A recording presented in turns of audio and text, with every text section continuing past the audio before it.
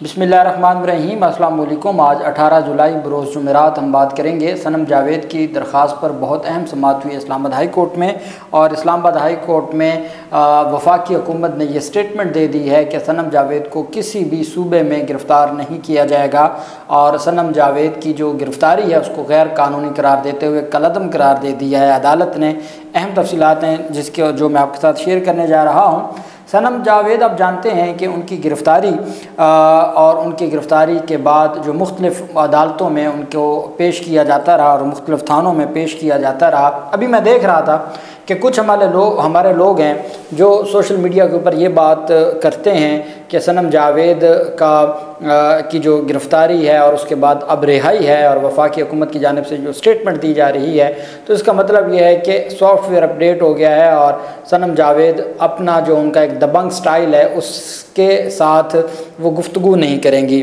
मैं ये समझता हूँ कि लोगों को एहसास करना चाहिए। एक ख़ातून छोटे छोटे उसके बच्चे हैं, चौदह महीनों से वो पाबंद सलासल है और एक मुकदमे के बाद, दूसरे मुकदमे में, दूसरे के बाद तेरह बारह, तेरह मुकदमात में उनको नामजद किया गया है और उनको आठ आठ घंटे जो पॉलिस वैन में, गर्मी में, शदीद गर्मी में रखा जाता था और जिस जिस तरीके से जहनी और जिस्मानी उनको तकलीफ़ दी गई है, उसके बाद खुदा का खौफ करें, ऐसी बातें न करें। और अब क्या ऑप्शन बच जाती थी? लाहौर हाई कोर्ट के जो डिवीज़न बेंच था उसके फैसले के बाद क्या कोई गुंजाइश बच जाती थी कि पंजाब में या किसी और मुकदमे में गिरफ़्तार किया जाए? फिर इस्लामाबाद हाई कोर्ट जिस तरीके से मुख्तलिफ़ मुकदमात में एक्शन ले रही है, या बलूचिस्तान हाई कोर्ट है, या बाकी अदालतें हैं तो क्या कोई गुंजाइश बच गई थी कि अब मज़ीद किसी मुकदमा में सनम जावेद को गिरफ़्तार किया जा सकता? गुंजाइश नहीं बची थी।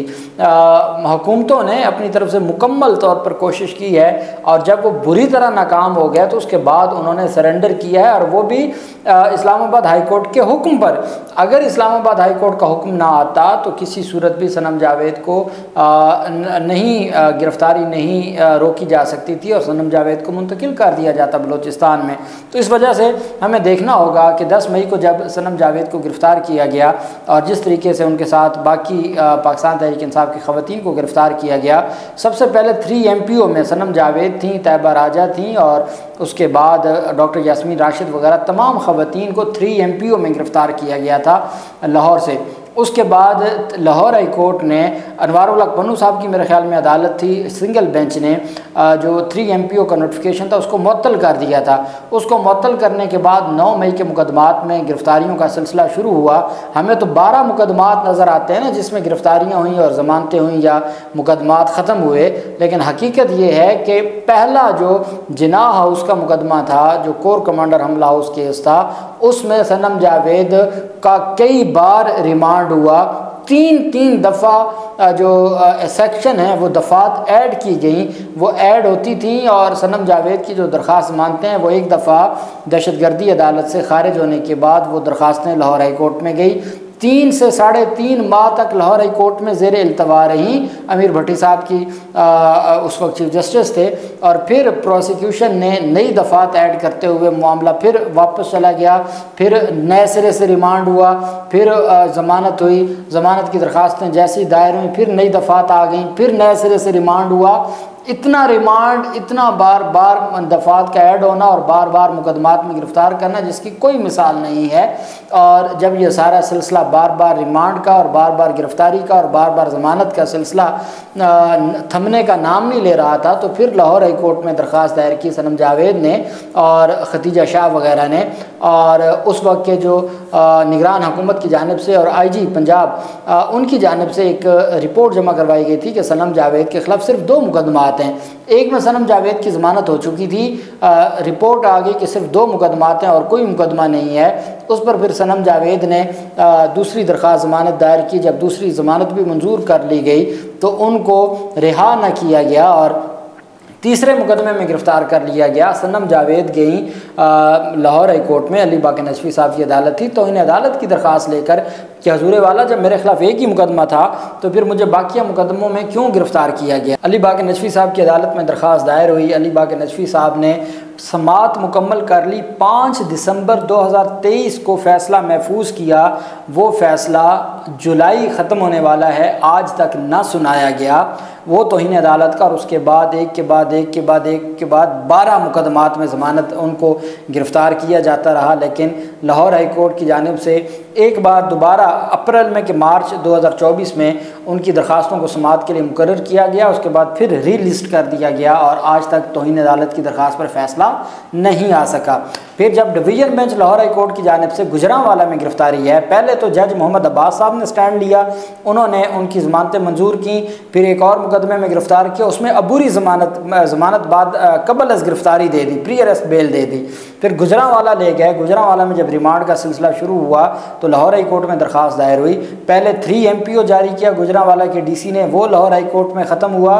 फिर उसके बाद लाहौर हाई कोर्ट में वो रिमांड और गिरफ्तारियों का जो सिलसिला था, डिवीज़न बेंच ने जब जजमेंट दे दी, डिवीज़न बेंच ने कहा कि बार बार अदालती ऑर्डर्स का मज़ाक उड़ाया जा रहा है और अदालत ने जो हुकूमत है या इंतज़ामिया है उनको कहा कि आपको आखिरी वार्निंग दी जा रही है, आपके ख़िलाफ़ कार्रवाई नहीं की जा रही, इस उम्मीद पर क्या आप आगे कुछ नहीं करेंगे। फिर हमने देखा गुजरावाला से उनको एफ़ आई ए ले आई इस्लामाबाद। इस्लामाबाद में जुडिशल मजिस्ट्रेट ने एफ़ आई ए का मुकदमा खारिज कर दिया और फिर इस्लामाबाद पुलिस ने गिरफ़्तार किया और फिर बलूचिस्तान पुलिस आ गई। अब जो जस्टिस मियाँ गुलसन औरंगज़ेब साहब थे, उन्होंने उनको सूबे से बाहर, ये पहली दफ़ा नहीं हुआ। इस्लामाबाद हाई कोर्ट पहले शानदाना गुलजार और शहरियार आफरीदी को भी इसी तरह का रिलीफ दे चुकी है। शेख रशीद को भी इसी तरह का रिलीफ ले चुकी है और उनको बलूचिस्तान या इस्लामाबाद से बाहर ले जाने से रोका गया था। फिर जस्टिस मियाँ गुलसन औरंगज़ेब साहब ने आ, उनको सूबे इस्लामाबाद से बाहर जाने से भी रोका और उनको गिरफ़्तारी को भी गैर कानूनी करार देते हुए मअतल किया। आज जब समात शुरू हुई तो अटॉर्नी जनरल ऑफ़ पाकिस्तान ख़ुद अदालत में पेश हुए चूँकि आज दो तीन चीज़ों के ऊपर अदालत ने इस मांगी हुई थी वजाहत, वफाकी हुकूमत से। एक तो ये थी कि नौ मई के मुकदमात में एक ही वकुआ की बाबत बार बार गिरफ्तारियाँ क्यों की जाती हैं? दूसरा ये था कि अदालत की जानब से ये कहा गया था कि सनम जावेद की जो गिरफ़्तारी है, अगर उन्होंने कोई बात की है तो बलूचिस्तान में मुकदमा कैसे दर्ज हो सकता है? अब दरख्वास्त जो थी सनम जावेद की, वो सिर्फ़ थी बाजियाबी की। अब बाजियाबी की दरख्वास्त में मज़ीद को रिलीफ अदालत ने लिख तो दिया था, लेकिन अटॉर्नी जनरल ऑफ़ पाकिस्तान आज पेश हो गए और अटॉर्नी जनरल ऑफ़ पाकिस्तान ने अदालत में पेश होकर ये स्टेटमेंट दे दी ऑन बिहाफ ऑफ़ वफाकी हुकूमत कि सनम जावेद को मज़ीद किसी मुकदमे में गिरफ़्तार नहीं किया जाएगा। अब यहाँ मैं समझता हूँ कि अदालतों के सामने होना भी चाहिए, आइन और कानून इस बात का हुक्म देता है कि अदालतों के सामने हुकूमतों को सरेंडर करना चाहिए। मैं ये समझता हूँ कि जब पंजाब हुकूमत ने लाहौर हाई कोर्ट के आगे सरेंडर किया तो वफाकी हुकूमत ने आज सरेंडर किया है इस्लामाबाद हाई कोर्ट के सामने। अदालत में समात शुरू हुई तो अटॉर्नी जनरल मंसूर उस्मान अवान और सनम जावेद अपने बच्चों और अपने खामद के हमरा अदालत में पेश हुई। उनके वकील मियाँ अली अशफाक भी अदालत में मौजूद थे। दौरान समात अटॉर्नी जनरल ने अदालत में स्टेटमेंट दी कि सनम जावेद को मजीद किसी मुकदमे में गिरफ़्तार नहीं किया जाएगा। बलूचिस्तान पुलिस राहदारी रिमांड की इस्तदा अब प्रेस नहीं कर रही। सनम जावेद अब आज़ाद हैं, वो पंजाब में जा सकती हैं। उनको किसी और मुकदमे में, किसी इदारे की जानब से कोई गिरफ़्तार नहीं करेगा। क्यों? ये इतनी बड़ी स्टेटमेंट क्यों दी गई है? अगर तो इस सारे मामले को चलाया जाता तो बलोचिस्तान मुकदमा तो खारिज हो जाता। नौ मई के हवाले से, चूँकि जुरिस्डिक्शन का बड़ा सवाल उठना था पंजाब की जो जुरिस्डिक्शन है, उस पर इस्लामाबाद हाई कोर्ट पंजाब से रिकॉर्ड मांग रही थी। तो ये एक बड़ा सवाल था। तो जब उन्होंने एक जनरल स्टेटमेंट दे दी और वो statement part of the file बन गई, जब अदालत में लिखवा दिया गया वफाकी हुकूमत का बयान अंडरटेकिंग दे दी वफाकी हुकूमत ने कि जी सनम जावेद को बलूचिस्तान समेत किसी और मुकदमे में गिरफ़्तार नहीं किया जाएगा। और साथ अदालत ने कहा, अदालत को कहा कि सनम जावेद को किसी भी बलूचिस्तान पुलिस का जो मुकदमा है, उसमें गिरफ़्तारी मतलूब नहीं है। जो राहदारी रिमांड की दरख्वास्त थी, हम उसको प्रेस नहीं कर रहे। हम उसको फर्दर आगे नहीं बढ़ाएँगे। हमारी इस्तः है कि दरख्वास्त को निपटा दिया जाए। जस्टिस मियाँ गुलसलजेब साहब ने रिमार्क दिया कि मैंने इंटरनेट पर देखा है, सनम जावेद बहुत नामुनासिब ज़ुबान इस्तेमाल करती हैं। उन्होंने दरख्वास्त गुजार के वकील से इस्तफसार किया कि क्या आप गारंटी देते हैं कि सनम जावेद मज़ीद नामुनासिब गुफ्तु नहीं करेंगी?